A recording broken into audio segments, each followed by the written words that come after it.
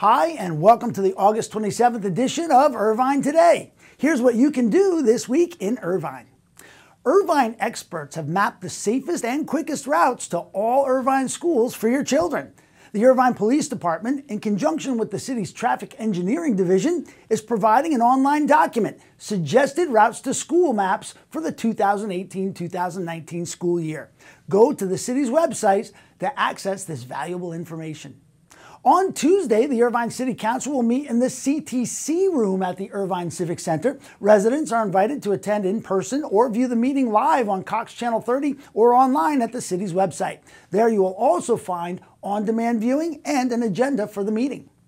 The Irvine Fine Arts Center's All Media Exhibition 2018 will be juried by Dave Barton, the arts writer for the OC Weekly. The exhibition features Southern California artists working in every medium.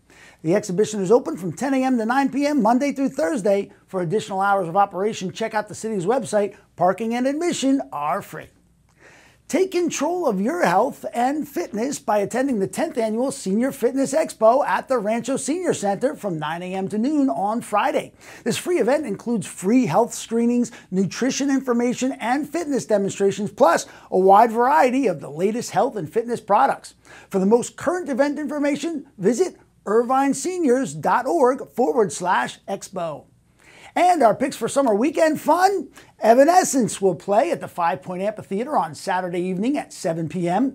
On Saturday at the Irvine Improv, you can see the famous David Spade at a 7 o'clock performance and Chris Porter, known for his one hour special on Netflix, Ugly and Angry, who will perform at 9.30 p.m.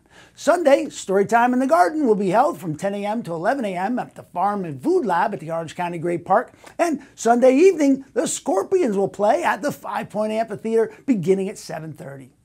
That's it for this week. Thanks for watching. I'm Dave Eyrig bringing you the what, when, and where in Irvine Today. To receive your weekly episode of Irvine Today, go to the City of Irvine's YouTube channel right now and subscribe.